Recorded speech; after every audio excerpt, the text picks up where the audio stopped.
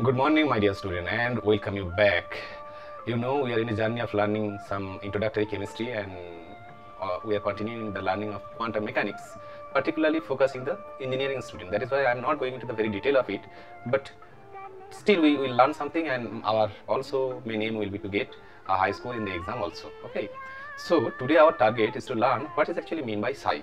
You know, during the derivation of the Schrodinger equation in last three lectures, we have introduced psi actually from the classical wave equation, where psi is actually mean the amplitude of the wave. Now, in case of Schrodinger equation, what is psi? At first, let me allow to write the Schrodinger equation. In most simplified form, Schrodinger equation is equal to is actually H psi is equal to E psi. H psi is equal to E psi, where H is the Hamiltonian operator. Hamiltonian operator. We will learn the operator after two or three classes. Okay, it is Hamiltonian operators, and this is also a eigenvalue equation. This is the most simplest form of Schrodinger equation. Now, if we extend the Hamiltonian operator, if you write down the detail of the Hamiltonian operator, actually the equation will look like this: that minus h cross square by twice m del 2 by del x2 plus del 2 by del y2 plus del 2 by del z2 del z2 plus v and this total operator should be acted upon the function state function or wave function psi will be equal to e psi this is the Schrodinger equation. Now you notice here is psi here is psi and here is psi here is psi so what does this psi actually mean? In classical wave equation you know actually psi is the amplitude. But in case of particle wave equation you know during the derivation of the Schrodinger equation actually we have introduced the um, we have introduced the wavelength of the wave via de Broglie hypothesis and we have introduced the corresponding particle nature. That is if you uh, I, I recommend you to to learn the or, to listen the uh, yeah, equation derivative once more, then it will be clearer, more clearer. Then actually during the derivation we have introduced the particle character via de Broglie hypothesis. And actually the psi in classical wave equation is the is nothing but the amplitude. Now we know during classical wave, for example, if you consider a wave in, of, in vibrating string, vibrating in, in vibrating string where, when a string will vibrate, we, we may get equation like this. Okay. Now if we plot amplitude versus say x that is the expansion or contraction etc we may get equation uh, if we plot amplitude and we may get equation uh, graph plotting like this okay now here actually in vibrating string the material of the string is going above and going down in case of water wave if you consider here also the different molecules or particle of the water is going up and down but here in particle wave what is actually waving what is actually going up and down or something like this actually Schrodinger tried to explain this by, via electron density. He, he, tried to explain that electron density may be oscillating in this way. So if we, it is nothing, Schrodinger equation is nothing but a simple differential equation, simple differential to second order differential equation.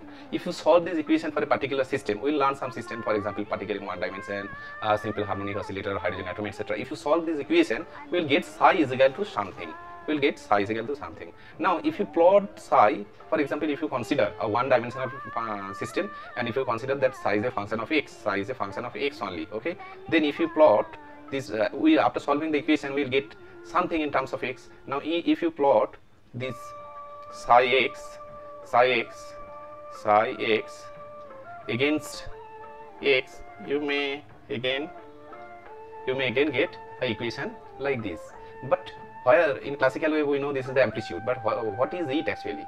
I told you earlier that Schrodinger tried to explain this plot by considering the electron density or charge distribution. But this is not true. This is not true. There is a reason. I'm not going into the detail of that. But after few years it is uh, max born who actually gives gives some suggestion which is nowadays actually accepted worldwide. And we'll come to that point later. But before that i would like to say another thing is that that amplitude square actually represent in classical wave energy density or you may say the intensity. Uh, again during the explanation of the photoelectric effect uh, einstein also used psi square as a probability density. Similar uh, similar expression was given by given by Max Born, given by Born. Okay, I'm coming, please wait for one minute. He said that no, no, no, psi square actually, this psi square, actually psi square, actually modulus of psi square, that is the absolute value of psi square, actually represent the probability, probability density, probability density. That means probability of the finding a particle at unit space okay probability of finding the particle at unit space. Okay now if this be the probability density and if we multiply this and if we consider a one dimensional case so if we multiply this by dx so psi square dx that will actually give you the probability of finding the particle between the distance x and x plus dx x and x plus dx probability of the finding the particle there. Now now if you try to solve Schrodinger equation you may get even complex number as a solution of the Schrodinger equation. So in that case actually psi psi star is used. It will be a real number no problem with that. And dx will be the probability of the finding the particle between the distance x and x plus x plus dx.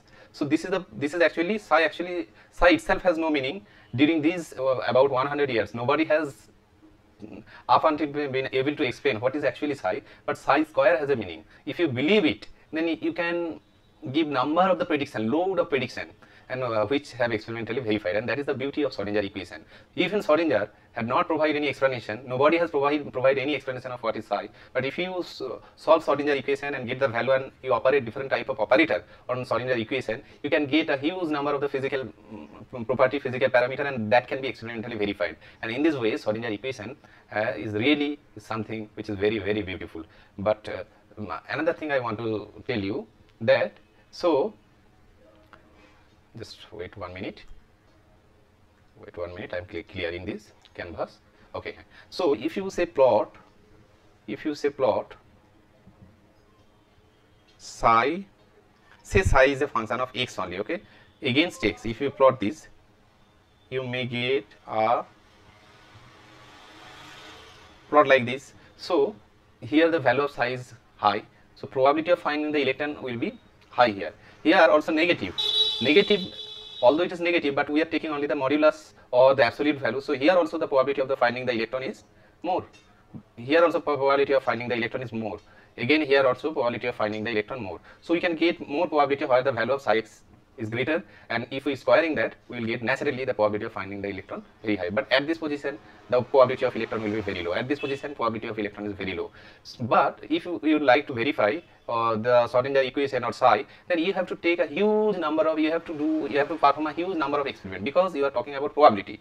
So if you just perform one experiment then it may happen that that probability of finding probability uh, the, uh, the particle is in here here. But if you take number of experiment to a huge number of experiments, then you will find that here, here, here is the probability is more, here, here, here, where the value of psi is very high, the probability is more, here also more, and here practically probability is nil, nil, nil. So that is the actually meaning of psi. So if this question come in your exam, then you have to show, you have to tell that psi itself has, itself has, psi itself has, itself has no meaning, meaning,